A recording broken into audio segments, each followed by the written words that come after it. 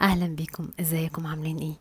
آه زي ما وعدتكم وصفة البرجر آه الصحي اللذيذ مهما أوصف عن طعمه مش هقدر أديله حقه. النهارده هنعمل مع بعض وصفة البرجر اللي أنتوا طلبتوها مني كتير جدا وأنا آسفة على التأخير. هنعملها بطريقتين كده حلوين آه مميزين. وهنقول كمان بتوع الكيتو يقدروا يستخدموه إزاي. ده غير كمان على فكرة إن أنا محضرة لكم عيش البرجر اللي أنتوا شايفينه ده. أنا اللي عاملاه. أنا صورت الاتنين مع بعض آه بس بقيت محتارة أنزل العيش الأول ولا البرجر الأول بس من كتر طلباتكم على البرجر قررت إن أنا أنزل البرجر الأول وعلى طول بعديه أنزل وصفة آه عيش البرجر اللي هو الكايزر آه اللي معمول بالدقيق الكامل. هقول لكم كمان إزاي تقدروا إن أنتم تحتفظوا بيه في الفريزر لمدة طويلة جدا بدل ما تعملوه كل شوية وتتعبوا. أتمنى إن شاء الله الوصفة النهارده تعجبكم. ما تنسوش like ويلا بينا نشوف هنعملها إزاي. أنا استخدمت نص كيلو من اللحم المفروم البقري بدون دهون 500 جرام. هنقسم الكمية على مرتين. الكمية الأولى هضيف عليها ملح بحري أو أي ملح عادي آه فلفل أسود آه توم powder. كمان هرش رشة من القرفة دي اختيارية. هحط بابريكا ونص معلقة من ال baking آه powder هخلط الخليط ده مع بعض إحنا مش بنعجن جامد يعني إحنا مش بنعجن زي الكفتة. البرجر مش زي الكفتة البرجر بس بتعجن عجنة بسيطة. الخليط التاني هحضر له حوالي بصلة متوسطة مع كمان حوالي كوب من البقدونس. أنا هضيف كمان الفلفل ولكن هيكون حار عشان الوصفة دي أنا هعملها spicy طبعا دي اختيارية لو بتحبوا الحاجة حراقة وكمان الحاجة الحراقة حلوة بترفع معدل الحرق براحتكم. ممكن تضيفوا فلفل عادي.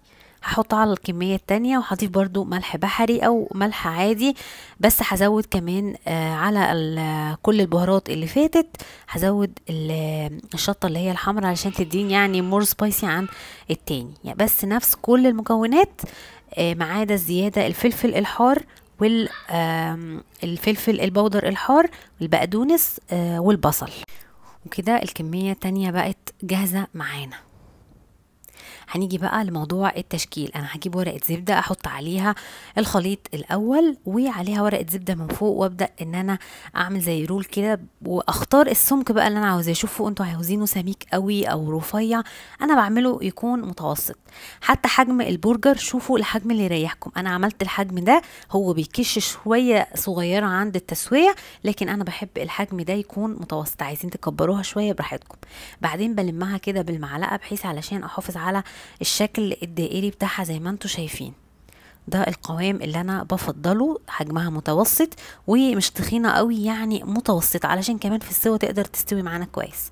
بحضرها إزاي؟ بقطع ورق الزبدة أو حتى لو عندكم ورق بلاستيك عادي تبدأوا إن أنتم تحطوا ما بين كل واحدة واحدة ورقة علشان بعد كده لما تيجوا تحطوها في الفريزر وتطلعوها طلعوها بسهولة ما تكونش صعبة عليكم أو تلزق أو تتكسر أو تتبهدل. فعلشان يكون سهل عليكم الموضوع. هعمل بقى باقي الكمية يعني كل ما أعمل آخد الباقي وأرجعه تاني وأعمله على شكل دائري زي شكل البرجر بالظبط.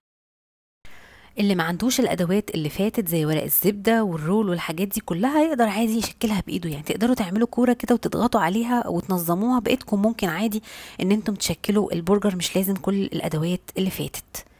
كده أنا خلصت الكمية الأولى اللي هي مش spicy العادية اللي تقدروا تدوا منها لأولادكم وادي شكلها النهائي وهي مرصوصة تقدروا على طول إن أنتم تفرزوها وتحطوها في الفريزر. وبعدين بقى هحضر الكمية التانية اللي هي بخليط الخضار والفلفل. ده يعني بيدي للبرجر نكهة قوية جدا spicy لأن في ناس تحبه spicy وادي الكمية التانية برضو رصيتها بنفس الشكل علشان أقدر أحتفظ بيها في الفريزر. وكل ما أجي أعمل أطلع عادي من الفريزر وأسوي آه ما يبقاش بقى ياخد مننا مجهود. تقدروا على فكرة تزودوا نص كيلو ده لأي كمية أنتوا عاوزينها. وده الشكل النهائي. طبعا يعني أساسا شكله لوحده كده شاهي شكله جميل جدا. آدي النوعين العادي والسبايسي وآدي الشكل لما هنحطه في الفريزر زي اللي أنتوا بتشتروه من بره بالظبط. شايفين الجمال؟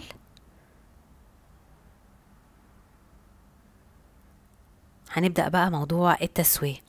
أي صينية بقى عندكم أو في الفرن حسب التسوية اللي أنتم تحبوها. أنا بستخدم الشوايه دي عادي برش عليها رشة زيت زيتون بسيطة جدا وببدأ إن أنا أعمل عليها البرجر بتاعي. تقدروا تستخدموا آه، صينية عادية اللي هي بتاعه القلي العادية ترشوا فيها رشة زيت زيتون بسيطة وتبدأوا إن أنتم آه، تسووا البرجر بتاعكم. تقدروا تحطوا آه، على لو عاوزين بقى يعني متصفي من نسبة الدهون اللي فيه تماما تقدروا إن أنتم تحطوه على الشواية وتفتحوا عليه الفرن لمدة مثلا 10 دقايق أو ربع ساعة هيستوي معاكم ولكن مش هتشوفوا الصوص اللي بيبقى شوية بيبقى juicy شوية. أنتوا شايفين البرجر juicy شوية يعني طري كده في نسبة من السوائل. لو حطيتوه في الفرن مش هتلاقوا نسبة السوائل دي خالص. بس هحطوا صينية من تحتيه لأنه هينزل ال- الزيوت بتاعته. علشان ما تنزلش في الفرن وتعمل بقى دخان وبعد كده تضايقكم في التنظيف حطوا من تحتيه صينية. ده الشكل النهائي بتاع البرجر بتاعي. أنا بحب أعمله على الصينية علشان يعني يديني كأنه الشكل المشوي شوية وبرده بيديني الطعم المشوي أنتم شغالين فيه هتشموا الريحة. الريحة بتاعته خطيرة جدا جدا. وده الشكل معايا. زي ما قلت لكم كده تحسوا إن هو juicy آه، شوية يعني فيه شوية سوائل. عادي جدا. أساسا أنا بحب إن أنا أطلعه كده ما يبقاش ما ينشفش قوي مني علشان يبقى طعمه طري وطعمه حلو. طبعا أنا حضرته مع خبز الكايزر أنا عملته بدقيق الحبة الكاملة هينزل على طول الفيديو بعد الفيديو ده على طول. نبدأ بقى إن إحنا نعمل البرجر بتاعنا زي ما إحنا عاوزين. هحط بقى شريحة خس وطماطم وفلفل دلعوا بقى السندوتش خضار عادي زي ما أنتوا عاوزين.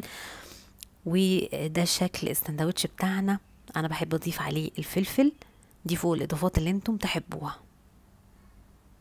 تقدروا بقى تعملوه في البيت تديوا لأولادكم حاجة مضمونة من غير دهون غير صحية لأن طبعا البرجر اللي بيبقى موجود في السوق بيبقى فيه كمية دهون غير صحية مهدرجة فظيعة جدا علشان تديله الطعم لكن أنتوا هتلاقوا الطعم بالظبط. بالنسبة بقى لبتوع الكيتو كل اللي إحنا هنستخدمه هنحط شرايح الخس هنعملها كأنها توست هنحط شرايح الخس من تحت وشرايح الخس من فوق وهنمسكها كأنها ساندويتش يعني هنستغنى عن آه، عيش الكايزر.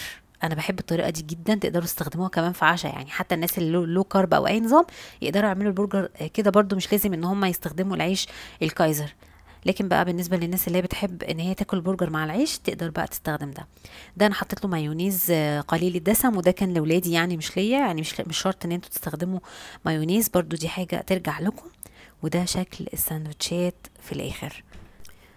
ده يعني حاجة كده صنع البيت ما أخدش مني وقت حتى لو أخد مثلا وقت يوم هتعملوا كمية برجر كبيرة جدا تقدروا تستخدموها بعد كده هتعملوا خبز الكايزر ده في البيت حاجة مضمونة السندوتش كله مضمون حاجة نظيفة مفيش دهون غير صحية تقدروا تاكلوا منها بأمان أدي بتوع الكيتو كمان يقدروا ياكلوا بالشكل ده عادي.